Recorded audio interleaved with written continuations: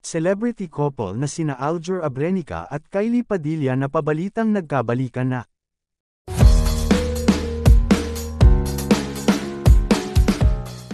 Maraming tagahanga ni na Kylie Padilla at Aljur Abrenica ang kinilig dahil mukhang maayos na muli ang kanilang relasyon, at tila nagkaayos na daw sila matapos ang kinaharap nilang kontroberya sa kanilang hiwalayan noon. Sa naging post nga ni Kylie sa kanyang Instagram account ay kapansin-pansin ang pag-iiwan daw ni Aljur ng isang mensahe na may kalakip na heart emoji na siya namang naging dahilan upang kiligin ang mga netizens. Matapos nang pumutok noon ang balitang naghiwalay ang mga ito, matapos ang mahigit dalawang taon nilang pagsasama bilang mag-asawa ay kaagad itong naging trending at pinag-usapan. Kahit saan man sulok ng social media ay naglabasan ang iba't ibang espekulasyon patungkol sa maaring dahilan kung bakit nga ba naghiwalay ang mga ito.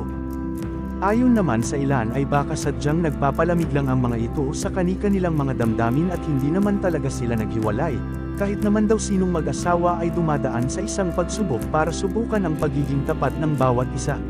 Naging masaya naman ang marami dahil matapos ang ilang buwan na pananahimik ay muling nasilayan ang mga ito na magkasama at tila nagkabalikan na, sana raw ay tuloy-tuloy na ito para sa kanilang mga anak.